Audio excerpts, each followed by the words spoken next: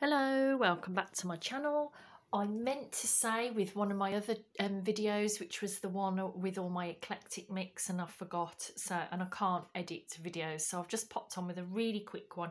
I meant to show you this that I've had off AliExpress.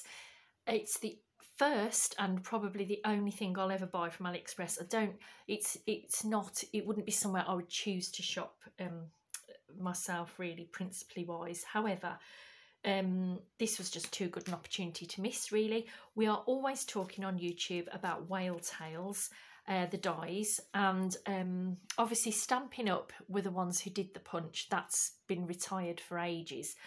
If you are lucky to find one on eBay, they're about £85. So I I don't know where I had this idea. I think I did have this idea from a YouTuber, but I can't remember who it was to look on AliExpress and they and I mean look at the folder it even comes in a lovely like little policy envelope and they actually on AliExpress if you type in whale tail die, you'll find that I mean obviously mine's used now but they come on a sheet um they do come attached and they say to leave these little ones attached so that you um could make like a frame. I can't see me ever doing that. I, I just like them as actual, you know, whale tail dies.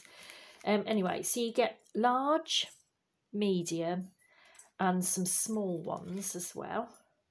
And obviously I've cut from a variety of things. I've used paper, I've used really quite thick card, and they've all worked really, really well. Um, I've done some off old ledger paper, um, but I've, I've done quite a few and I've used quite a few as well. Um, in the same die cutting kit, you do get these, which are the like little things that you'd put at the top of a tag, like a hole reinforcer, but they're a bit of a more, you know, nicer or more vintage perhaps shape. But I did want to share these in case you wanted to go. Um, I found them on AliExpress. I can't remember how much they were. I think they were eight or nine pounds. Certainly not eighty-five pound like the punch would be. And like I said, you've got the big, the medium, the small, and I'm really happy with how they've cut out. I think they've come out great. So it's just to share that in case you wanted to, um, well, be able to have your own wild tails, really. All right, then, uh, that really is all now. Thanks for stopping by. Bye bye.